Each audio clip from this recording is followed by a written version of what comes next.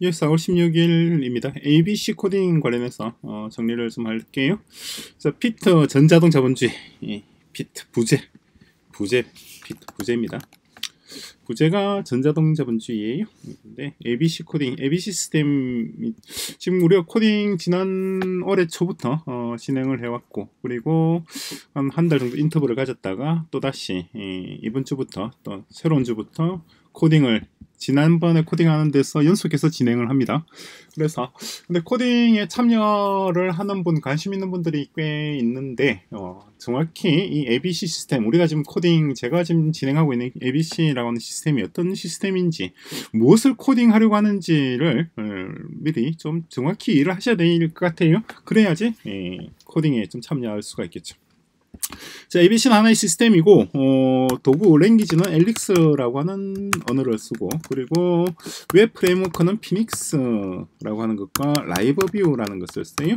그리고 데이터베이스는 Postgre, Postgre SQL, SQL 쓰고 그리고 또 몇 가지를 좀 더 쓸 겁니다. Riak이라든가 그리고 어, MongoDB도 좀 아마 쓰게 될 것 같아요. MongoDB라든가 혹은 Redis도 좀 쓰시면 돼요. Redis라든가 등등 이런 tool들을 이용해서 어, 프로그램을 진행을 합니다. 그래서 그 말은 무슨 말이냐니까 방금 제가 언급했던 요 시스, 요러한 언어나 데이터베이스나 웹 framework에 대해서 조금 지식이 있어야지 코딩에 참여할 수가 있겠죠. 자 그리고 그럼 우리가 뭘 이제 코딩할 것인가? 아, 라고 하는 건데 예. 코딩할 것은 전자동 자본주의를 코딩합니다. 그창하죠? 무려 무려 자본주의식이나 코딩을 해요. 자 자본주의가 뭔지를 먼저 간단하게 정리를 하자면 처음에 지대 자본주의라고 해야 되나요? 지대 자본주의. 뭐 지대 자본주의라는 말은 없습니다. 어, 사실 본권주의를 말하는 거예요 본권주의. 본권주의가 있고 본권주의에서 다음 단계로 어 이제 넘어왔죠. 산업혁명을 거치면서 이제 산업자본주의. 산업자본주의는 땀 흘려서 돈 번단 말이에요. 어, 물건을 만들어서 어, 돈을 버는 게 산업, 산업자본주의입니다. 땀 흘려서 돈 버는 물건 만들어서 그죠? 그런 다음에 이제 금융자본주의. 금융자본주의는 음, 공장에서 일하는 것보다 은행에서 일하는 게 월급을 더 받는다. 이게 금융자본주의입니다. 간단하죠. 간단하죠. 은행에서 일하는 것보다 증권사에서 일하는 게 돈을 더 받는다. 돈을 더 번다. 월급이 더 세다. 증권사 월급이 은행원 월급보다 세고 은행원 월급이 공장의 생산직 근로자 월급보다 더 센 거. 이게 금융자본주의. 어, 그 제가 비유해서 표현한 내용입니다. 사실상 금융자본주의라는 것은 음, 좀 얘기를 하자면은 음, 어, 이, 이걸 금융자본주의는 음, 돈이 돈을 버는 시스템이라고 보면 되겠죠. 그런 다음에 이제 자동자본. 이 지금까지 자본주의 이 두 가지를 어, 뭉뚱그려서 수동자본주의라고 표현하자면 수동자본주의. 그 다음에 이제 자동자본주의. 자동. 그것도 그냥 자동이 아니라 전자동.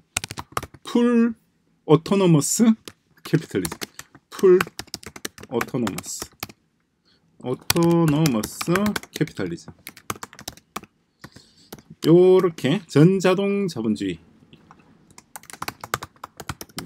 전자동 자본주의는 이걸 구체적으로 보이면 이게 뭐냐 라고 하는 건데 음, 금, 첫 번째는 금융을 완전 자동화 금융의 완전한 자동화. 완전 자동화. 자동화 무인화를 말하는 거예요. 금융산업이죠 금융산업 그러니까 원래 자본주의가 산업자본주의 다음에 금융자본주의로 넘어가야 되는데 이 금융자본주의를 완전히 자동화 해버리면 어떻게 되나요? 그러면은 그러면 자동적으로 그 다음 단계가 전자동 자본주의가 되는 거죠. 간단하죠. 산업자본주의가 1번 1단계 여기서 이제 금융자본주의로 넘어가는 건데 이 금융자본주의로 넘어간 이것을 완전 자동화 시키면 전자동 자본주의가 그러니까 은행이나 보험이나 증권 관련 금융 산업이 사람 없이 시스템에 의해서 동작하는 겁니다. 그게 전자동 자본주의. 그게 전부는 아니에요. 그게 전부는 아닙니다. 어, 그 첫 단계가 바로 어, 금융 산업의 완전 자동화입니다. 그래서 첫 단계가 금융 산업의 완전한 자동화가 있고, 다음에 두 번째, 세 번째 단계가 좀 있어요.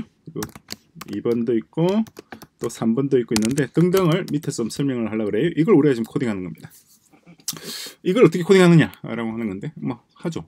거나 뭐 이말 첫 번째는 단 하나의 시장입니다. 단 하나의 시장 우리 지금 당장 당장 내일부터 코딩 진행하는 내용이에요. 지금 제가 하는 얘기를 그대로 코딩을 진행을 합니다. 그러니까 어, 뭘 코딩하려고 하는지를 먼저 개념을 잡아야지 코드를 보고 어, 이해가 할 수가 있겠죠.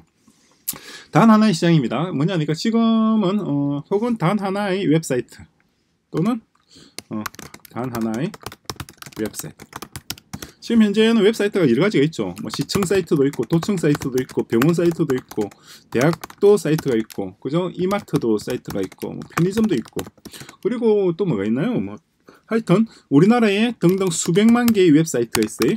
만 개의 웹사이트가 있는데 이것을 하나로 통합을 해보세요. 하나로 통합.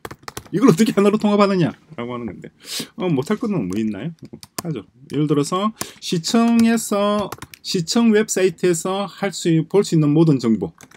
시청 웹사이트의 모든 정보. 모든 정보와 모든 기능. 뭐 민원 신청이라든가 뭐 증명서 발급이라든가 모든 기능. 혹은 에어 부산. 에어 부산.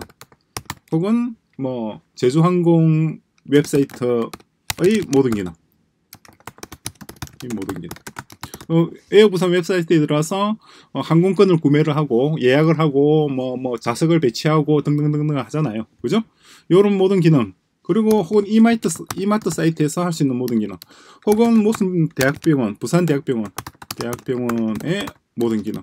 등등등. 수백 우리나라에 있는 수백만 개 웹사이트들의 이 기능들을 하나의 웹사이트로 통합을 하나의 웹사이트 로 통합. 이 하나의 웹사이트가 하나의 시장, 하나의 시장. 이게 가능하냐? 라고 하는 가능하죠. 안 될 거나 뭐 있어요. 바로 이번 주에 진행을 합니다. 이번 주에. 아, 하죠. 가능하죠. 어. 그러니까 좀 더 쉽게 설명하자면은, 음, 좀 더 비유하자면은 그런 거예요. 뭐 어떤 작은 어떤 뭐라고 해야 되나 가게 상점 상점의 웹사이트가 있을 수가 있죠. 우리나라 우리 동네 미용실 사이트가 있을 것이고 이 사이트보다 좀 큰 게 이마트의 사이트가 좀 더 크죠 규모가. 그죠? 이마트 사이트보다 좀 더 큰 건 아마존이라든가 혹은 뭐 알리익스프레스라든가 익스프레스 알리바바 알리바바가 아니고 이름 뭐죠? 등이라든가 이런 사이트는 이, 이, 사이트보다 이마트보다도 훨씬 더 크죠 그죠? 근데 이것보다도 훨씬 더 크게 만들면 그게 ABC입니다 간단하죠 간단하죠 개인 사이트를 이렇게 개인 개인 사이트 개인 웹사이트보다 큰 게 이마트 사이트 이마트 사이트보다 큰게 어, 제가 이마트를 하는 이유는 오늘 이마트 장보를 할 거예요. 그래서 이마트 얘기가 자꾸 나오고 있습니다. 그리고 이보다 큰 게 아마존이고 그보다 큰 게 ABC입니다. 자 그리고 하나의 웹사이트입니다. 어 거기 위에 있는 같은 얘기네. 같은 얘기 그죠. 그리고 단 한 번의 로그인, 평생 단 한 번의 로그인. 그러니까 뭐 은행 거래하려면은 뭐 공인인증서, 공동인증서로 이름 바꿨더만요. 공동인증서라든가 뭐 전화, 휴대폰, 모바일 인증이라든가 뭐 또 뭐가 있나요? 뭐 별의별 인증 시스템 있고 인증 비번 있어야 되고 뭐 뭐뭐 뭐, 뭐 무슨 또뭐 무슨 카드라 그러나요? 별의별 희한한 카드 농협에 무슨 뭐 비밀번호 적혀있는 무슨 카드 등등등 있잖아요. 그런 걸 이용해서 평생 평생 수백 번 혹은 수천 번 로그인 하죠. 로그인 하는데 이걸 한 번 평생 한 번 로그인 하는 걸로 바꿔보자는 평생 한 번. 한 번. 태어날 때 한 번 로그인 하면은 죽을 때까지 로그인 할 필요가 없는 한번 인증하면 평생 한 번 로그인 플러스 인증. 한 번 인증을 받고 나면은 평생 동안 두 번 인증할 필요가 없는 시스템을 구성해 보자는 거죠. 요거는 뭐 블록체인 기술, 블록체인의 private public key. private public key. private public. 요걸 키 이용을 하려고 그래요. 그래서 private key를 가지고 있으면은 음, 요 키를 어딘가에 보관해야 될 거 아니에요. 뭐 USB에 보관하던 자기 지문에다가 지문에다가 보관할 수 있고 자기의 홍채 홍채문 속에도 보관할 수가 있고 성문에도 보, 보관할 수 있고 자기네 얼굴 얼굴에도 보관할 수가 있죠. 어쨌거나 보관해서 이용할 수 있는 평생 한 번의 로그인 그리고 금융과 시장의 통합입니다. 금융 산업을 완전 자동화한다는 거예요. 금융 산업이라고 하면은 산업이라면 세 가지죠. 은행, 은행, 보험, 증권 그리고 관련 기관이잖아요. 등등을 어, 시장 속에 통합시죠. 이게 무슨 말이죠? 무슨 말이냐? 지금의 은행 같은 경우 예금을 한다면 어떻게 되나요? 예금을 하려면은 어, 거래은행을 먼저 방문해서 방문하거나 온라인으로 접속을 해서 그런 다음에 뭐 송금을 하거나 이렇게 하잖아요. 그죠? 그래서 이게 내 계좌, 내 계좌에 돈이 딱 찍히는 거죠. 그런데 우리가 만든 ABC는 좀 달라요. ABC는 어떻게 하느냐니까 어, 은행 예금하는 것은 KRW 원화를 구매하면 됩니다. 원화. 이게 예금이에요. 이꼴 예금. 예. 그럼 뭐 외화 예금이라는 것도 있잖아요. 외화 예금, 달러 예금을 하고 싶다. 그러면 어떻게 하면 되나? 달러를 구매하면 됩니다. USD를 구매. 이꼴 얘는 외환 예금. 간단하죠? 이런 식으로 어, 요 시스템이 어떻게 동작하는지 좀 이따 보여드릴 거예요. 다음 그, 아마 내일부터 바로 진행할 겁니다. 바로 진행을 해서 지금 시스템 골격을 거의 음, 잡고 있어요. 그래서 어, 요런데 new product 새로운 product 하나 해서 달러는 KRW. KRW고 Korean won Korean won unit price는 ABC라고 하는 화폐. 우리가 지금 화폐 화폐도 좀 이따 말씀드릴게. 뭐 화폐 SKU 뭐 있고 뭐 추적 파일 save product 하면은 이렇게 KRW 해서 나왔죠 이 KRW라는 상품을 내가 구매 구매를 하면은 그러면 바로 지금 이건 관리자 화면입니다. 관리자 화면이니까 구매 버튼이 없어요. 근데 음, 소비자 화면에서는 고객 화면에서는 이게 오더 버튼이 있습니다. 오더 버튼에서 자기가 원하는 수량만큼 한국 원화를 구매하면은 그게 원화 예금을 하는 겁니다. 간단하죠. 간단하죠. 너무너무 간단하지 않나요? 자 그리고 입법 해법 어, ABC라고 하는 통화도 말씀드릴게요. ABC 화폐 입법 사법 행정의 자동화. 그래서 지금 우리나라 정부가 이렇게 입법부 사법부 행정부 있잖아요. 그죠? 이걸 자동화해서 99%의 어, 공무원들 공무원. 공무원 99%의 업무를 자동화 이것도 우리 ABC 시스템으로 충분히 가능합니다. 어, 매우 매우 간단하게 구현할 수가 있어요. 이것도 말씀드릴게요. 그럼 일단 공무원들이 뭘 하는지 알아야 될 거 아니에요. 기획재정부 직원들, 이사관, 서기관, 감, 뭐 감사원에 쓴 어떤 사람들이 뭘 하는지 알아야 되는데 그것도 다 정리를 해서 말씀드릴게요. 그리고 지식 노동의 자동화입니다. 지식 노동은 화이트 컬러잖아요. 화이트 컬러. 지식 노동은 데스크, 책상에서 보는 거죠. 책상에서 책상 데스크. 데스크가 있는 모든 직종 모든 직종의 자동. 이건 완전 자동은 아니고 공무원 등 같은 경우는 99% 정도까지 가능할 것 같은데 그 외 직종의 경우에는 90 한 뭐, 뭐 대략 막 70에서 80% 정도 가능하지 않을까 싶어요. 80% 정도 어, 자동화 퍼센트 퍼센트 퍼센트. 자, 요게 우리 ABC 코딩입니다. 그죠? ABC 코딩이에요. 어, 여기 어떻게 되느냐? 아, 되면 되면 되고 다 돼요. 그리고 어 하나의 시장, 글로벌, 하나의 글로벌 시장, 하나의 글로벌 시장. 이건 똑같은 얘기예요. 이마트를 좀 더 확장시키면은 그러면 아마존이 되는 거죠. 아마존을 좀 더 확장시키면은 ABC가 다. ABC는 하나의 글로벌 시장입니다. 여기서는 어, 80억 인구, 80억 인구가 누구나 자신의 상품을 등록, 을 등록하고 또 구매할 수 있는 그러한 시스템. 80억 인구가. 그렇게 구성을 해요. 자, 이걸 가능하게 하기 위해서 어, 우리가 ABC 시스템이 하는 것은 인구 80억 인구 각각에 대해서 인구 각각에 대해 네, 대해 어, 위변조 불가능한 위변조 불가능한 화폐와 재무제표. financial statement를 제공합니다. 자, 요거 요렇게 코딩을 진행하는 거예요. 자, 그러면은 이 인구들이 누군가 80 인구가 어 내가 뭐 저기 저 스웨덴에 있는 물건을 사고 싶다. 혹은 저기 뭐 독일에 있는 누군가가 뭐 저기 뭐, 뭐 아프가니스탄에 있는 뭔가를 사고 싶다. 양모. 양모 아프, 아프가니스탄은 양모 카페트가 꽤 유명하죠. 이란이 유명한가? 하여튼 어 80억 인구가 국경을 초월해서 거래를 하기 위해서는 뭔가 결제 수단이 있어야 될 거 아니에요. 그죠? 그걸 달러로 쓰진 않겠다는 겁니다. 달러로 쓰진 않고 어, 달러로 쓸 수는 없죠. 어, 달러가 아닌 그럼 금을 쓸 것이냐? 금도 아닌 금은 어그 금도 마찬가지입니다. 어떤 특정 국가, 미국, 중국, 러시아가 거의 독점하고 있는 거잖아요.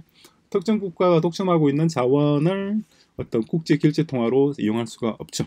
그래서 금도 아니고 달러도 아니고 달러도 아니고 제3의 화폐, asset based currency asset 일반적인 asset이 그럼 asset 기반인데 asset 속에는 뭐 금도 들어가고 금도 들어가고 오일도 들어가고 다 들어가요.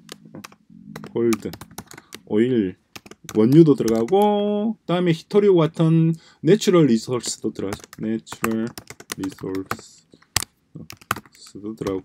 근데 가장 중요한 거는 바로 어, equity, 주식입니다. 주식과 채권, 데트. 여기에 들어요. 어, 가장 중요한.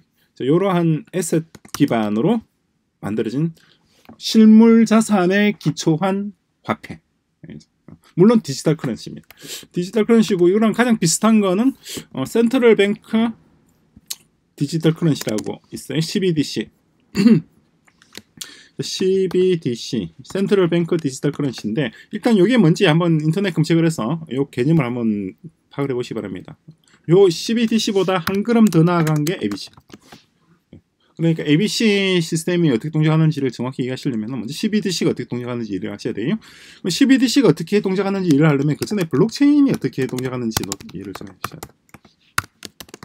블록체인을 이해를 하기 위해서는 그 전에 fiat currency라고 하는 거, 종이 돈이죠. 이걸 국적 화폐라고 하는데 국적 화폐가 어떻게 동작하는지를 좀 이해해야 돼요.